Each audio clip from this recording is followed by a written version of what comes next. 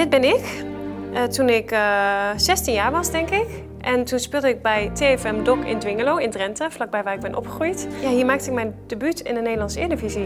Ik denk dat mijn droom was dat ik gewoon kon doen wat ik leuk vond. Zeg maar, dat ik iedere dag kon doen wat ik leuk vond. En het liefst stond ik gewoon na school de hele avond en middag gewoon in de sporthal. Ik denk een jaar later kreeg ik een uitnodiging voor Jong Oranje.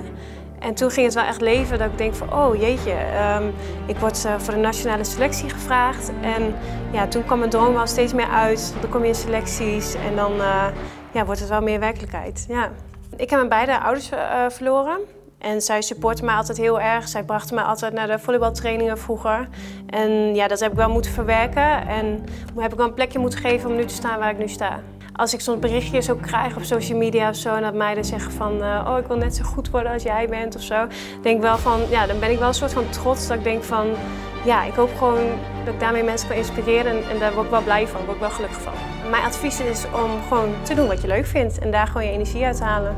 Dus als je dingen doet wat je leuk vindt, dan denk ik uh, dat het vanzelf gaat. Mijn dromen op dit moment zijn vooral om uh, gezond te blijven, dat iedereen omheen gezond blijft en dat ik gewoon gelukkig ben.